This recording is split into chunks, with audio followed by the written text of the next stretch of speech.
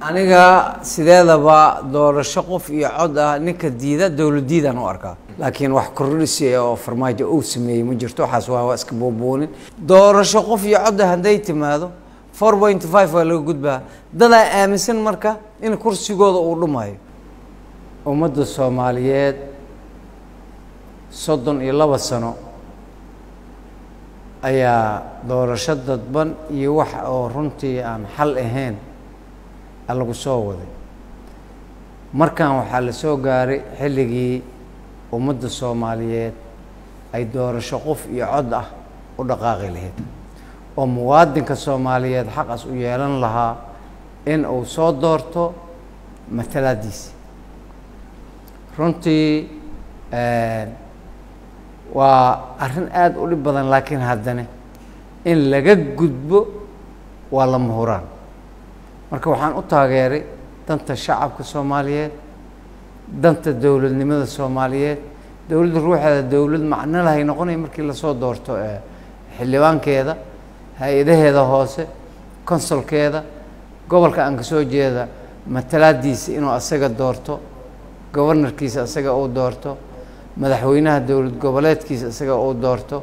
Waxaasoo dhan markii ay ay dhacdo waxaa waaye dowlad macno leh oo wax lagu aamini karo ayaa la noqonaa. Laakiin intii adeer adeer suldaan hebel iyo adeer sheekh hebel iyo guddoomiye hebel iyo nabadoon hebel wax lagu soo dooranayo iyo boqol qof iyo konton qof intii wax lagu soo dooranayo xaqiiqatan dowladdeenna macno yeeli mayso. Adwaaya aan ugu dhaqaaqi la-nahay dastuurkeena loo dhammaystiri la-yahay ilaa baarlamaankii sagaalaad ilaa midka kow iyo tobanaad oo maanta ah intaas baarlamaanka ee baarlamaankaas dastuurka horyeeloola lahaa dastuurkaanoo dhammaystira baarlamaanka oo baarlamaan walbo baarlamaanka kale isu dhiibay. Marka anigu waxaan qabaa in dastuurkan la dhammaystiro doorasho hal qof iyo hal cod eena la aado. Bariise waa ogahay go'aanka shalay soo baxay ee ka soo baxay golaha in ay ka maqneed puntland ay ka maqneed. Siduu tilmaamayo qodobka konton iyo saddexaad iyo qodobka konton iyo afaraad qodobada ka soo baxay qaarkood waa kuwa wada ogol in lagu meel mariyo loo baahan yahay. In madaxweynaha uu noqdo madaxweyne proportional ah waxay u baahan tahay in dastuurka wax laga bedelo in mandate-ka shan sano laga dhigo waxay u baahan tahay in dastuurka wax laga bedelo.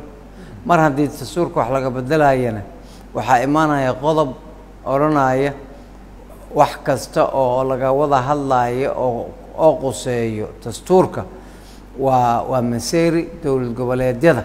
Xubinta ka ah dowladda federaalka ayaa lagala tashanaya. Marka puntland waa ka maqan tahay waa ogeen waan dhegaysanay waana laba fadhiyay ka maqnayd shirarkaas in muxuu ahay golaha hadda soo saaray muxuu ahay qodobadan soo saaray si ay u hirgalaan qodobadu inay puntland ay ku soo qanciyaan in ay ay ogolaato in dastuurka wax laga bedelo.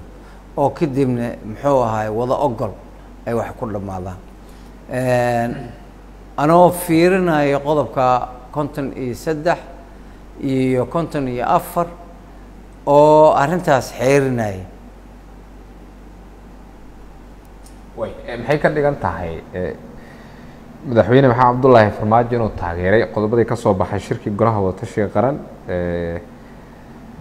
qaar ka mid ah madaxda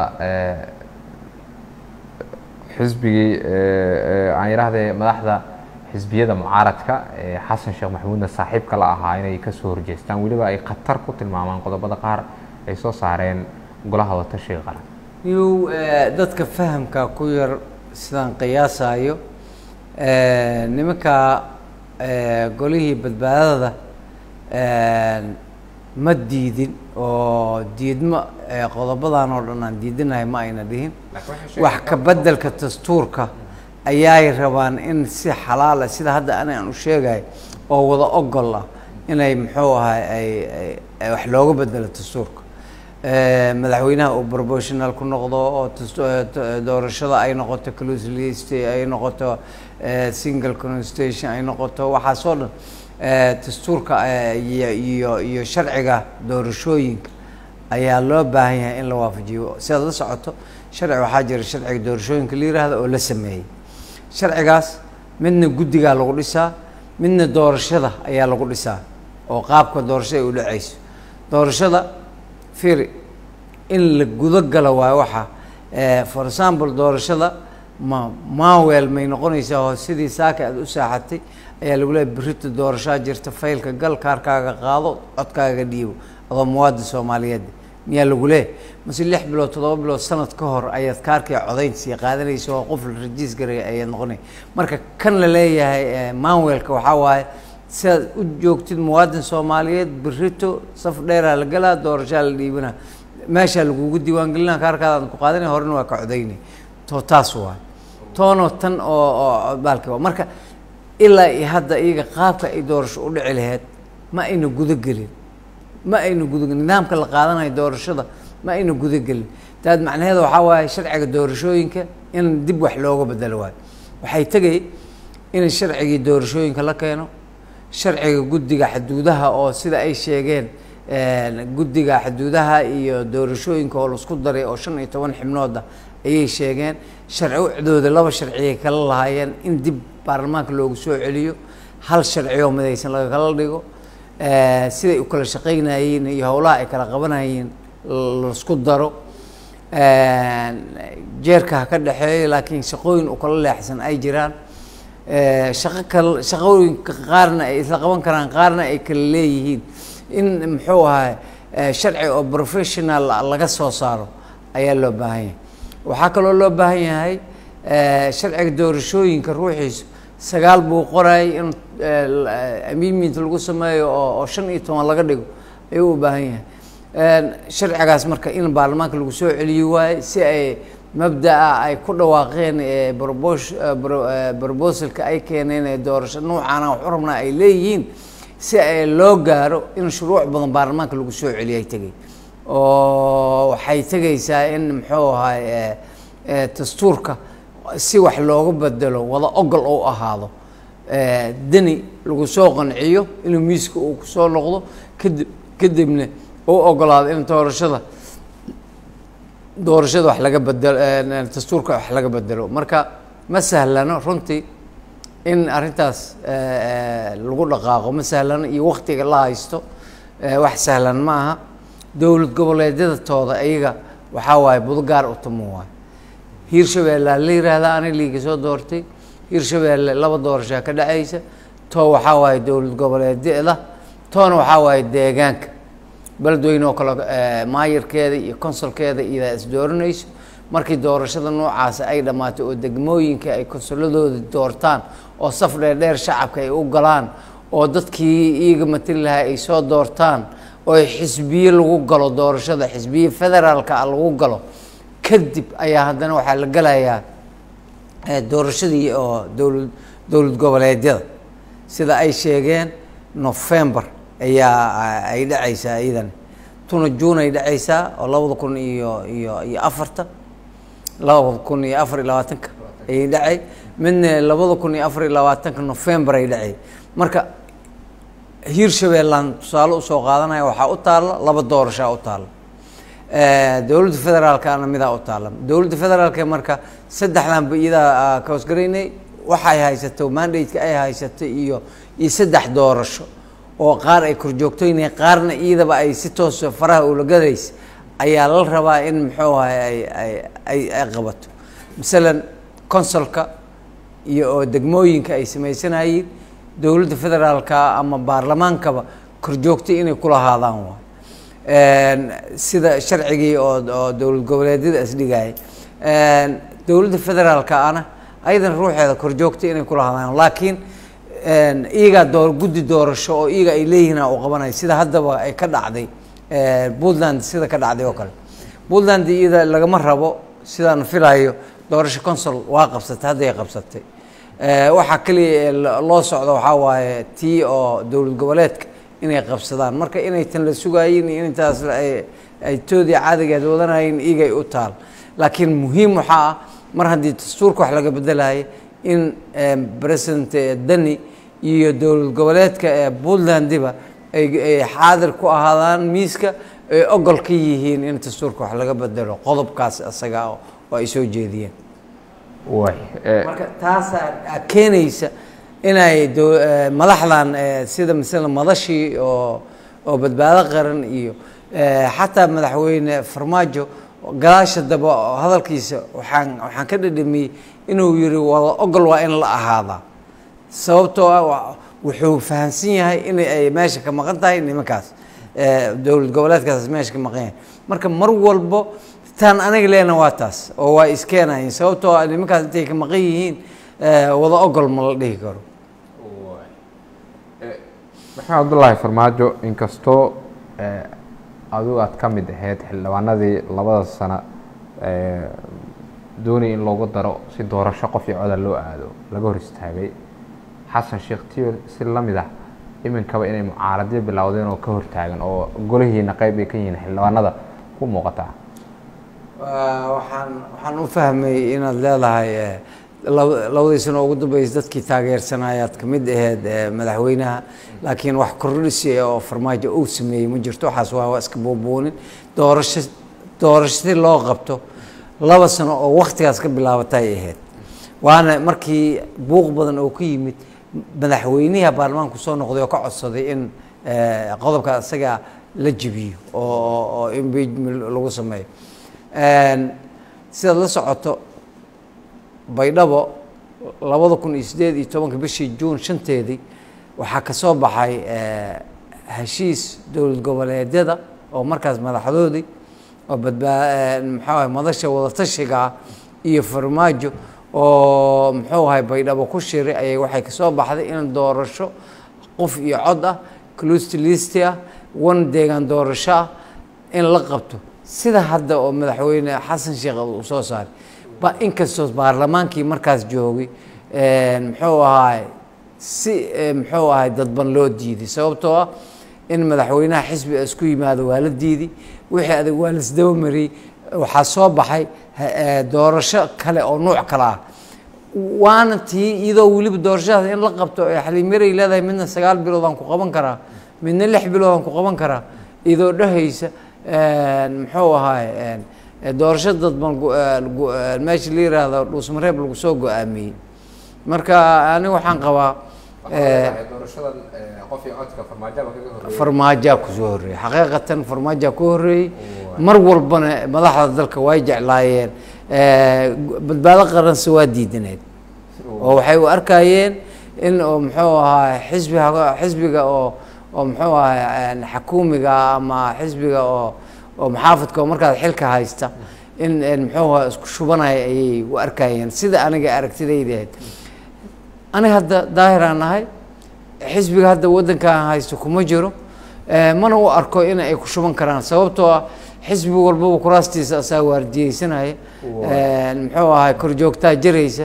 Wax ku shubasho la yiraahdo haddii jacayl ay timaado waa jeclaan karaan eh, in xisbiga shacabka ay wada codeeyaan laakiin en- en- en, ku shubasha aniga waxaan qabaa wixii haddii controolkii iyo iyo systemkii dhabka tahay la maro wax la xadi kara ma laha. Maxay kaloo tahay farmaajo iyo xasan sheekh ay ku kala duwan yihiin oo xilligii farmaajo aada looga cabsaday in maaragtay eh, xisbiga markaas xukuumadda haystay eh, aan talada dalka markaas hayay in loo wada codeeyo cabsidaas waa timi oo saaxiibadeena ay ka muuqatay laakiin hadda ma muuqato. Farmaajo asaa taageeray hadda xildhibaanadii asaga muxuu ahay lagu agtumayo oo muxuu ahay nabad iyo nolol waayla lahaa way taageersan yihiin.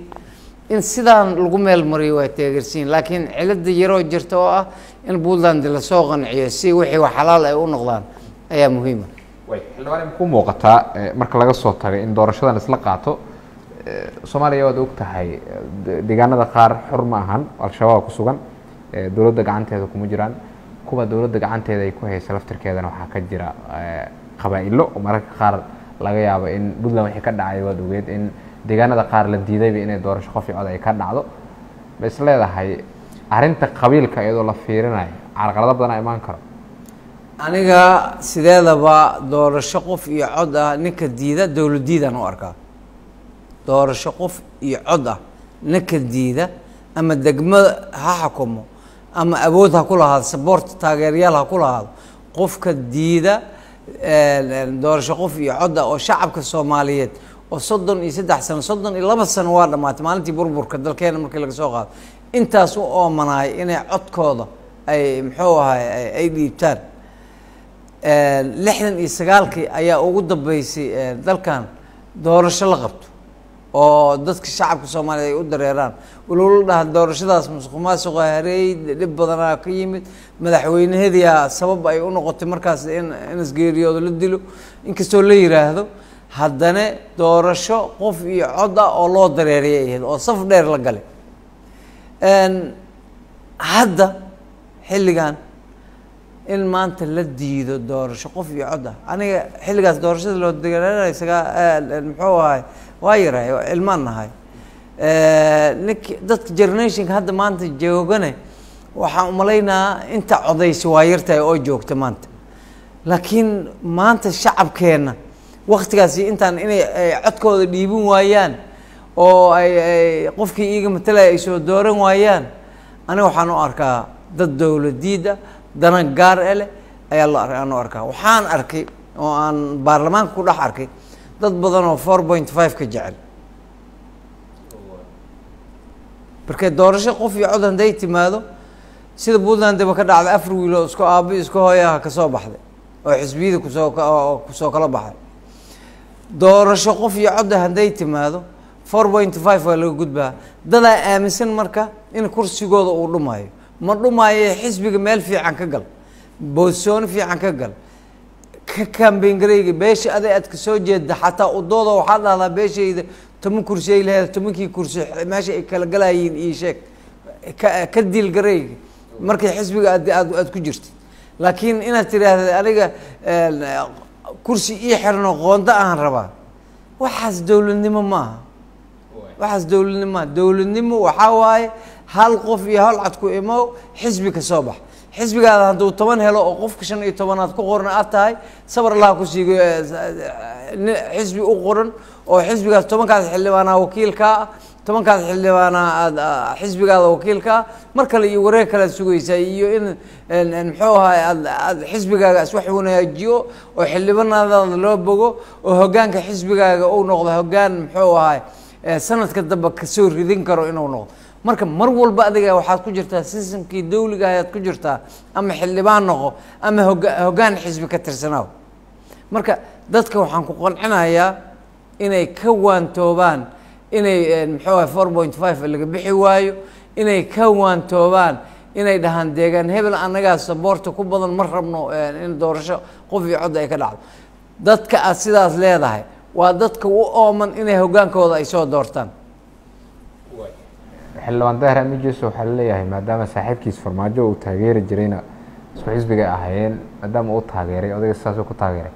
May saas ma aha xalay iyo shalay anigu waa ka kambeyn garaynaya. Waxaan lahaa sharcigan wixii oo iska qaldan yahay sida muxuu ahay wada ogol la'aanta ah ha laga saara laakiin ha sidiisa lagu meel mariyo waad ogtihiin ilaa iyo maalintii xornimada aan qaadanay intaan inta ra'iisul wasaare oo la soo doortay. Madaxweyne iyo ra'iisul wasaare dhibaatada ay leedahay waad ogtihiin. Madaxweynaha iyo ra'iisul wasaaraha waa isfahmi awood qabiilaa la isku qabsanaa. Dhibaato badanaa ka imaaneyso madaxwe ra'isul wasaarihii maskaxdaa laga bedelaa qabiilaa lagu shubaa. Kadib seeftiisa ula soo baxa asigii madaxweynihii qoortiisiga jiraad arkay. Oo dowladnimadii ay mandhaleysi noqotay marka in madaxweyne madaxweyne ku-xigeen laga dhigana waa taageersanahay sababtoo ah madaxweynuhu awooduu helaa tan ah ma noqonayaa baarlamaankaa dooranaya mase waa wax kale. Waxaa la awoodaa in baarlamaanka doorto madaxweyne madaxweyne ku-xigeenna ay noqdaan. Baarlamaanka fiir xisbiga la doorto oo majority hela waa la ogyahay in madaxweynihii hogaaminaya oo musharax u ah inuu soo baxa waa la ogyahay. Laakiin waa la sunnaynaa madaxweynaha waa la doorana awalba saasay ahayd. Fiir aadan cabdulla cismaaliya raxma leegow ka soo boqol iyo labaatan iyo saddexda kursi ayay kala barobar helayeen markaas waa la ogaay inuu soo baxayo aadan cabdulla cusmaan inuu soo baxayo waa la ogaay. Sababtoo xisbiga leega aas hogaaminay mo haddana saas ay tahay codaa la tirinayo oo lalahay dowladdan baarlamaani waa la dhahay. Aniga waxaan qabaa baarlamaaniga waa fiican yahay yaan laga cararin. Fariinta ugu dambeyso aada diri lahayd waa maxay? Fariintayda ugu dambeysa waxaa waaye horta kow ummadda soomaaliyeed dowladnimadeeda yaan lagu falaadin. Ha noqoto wax dhab naga ah inaan gaarsiino doorashada qof iyo cod. Dadkeena inay xaq ay u yeeshaan doorasho qof iyo codda in la gaarsiiyo. In sumcadda aad dadkaada aad ku leedahay aada ku soo baxday adig iyo xisbigaagaba. In doorashadaas ay qodobadaas ay soo saareen afar dowlad goboleed iyo madaxweynihii iyo ra'iisul wasaarihii iyo ra'iisul wasaare ku-xigeenkii iyo madashaas oo dhan ay soo saareen oo ay muxuu ahaay ay ay ay isku soo raaceen danina lagu soo biiriyo kadibna baarlamaanka la keeno. Inkastoo maanta uu sheegay madaxweynaha baarlamaanka la keena uu yiri haddana in baarlamaanka la keeno annagu waxaa laga yaaba haddii nala noola keena inaan wax quruxsan ku sii kordhino waa suurtagal laakiin uma malaynaya in wax laga dhimaayo waayo iyagaaba si fiican u soo dhigay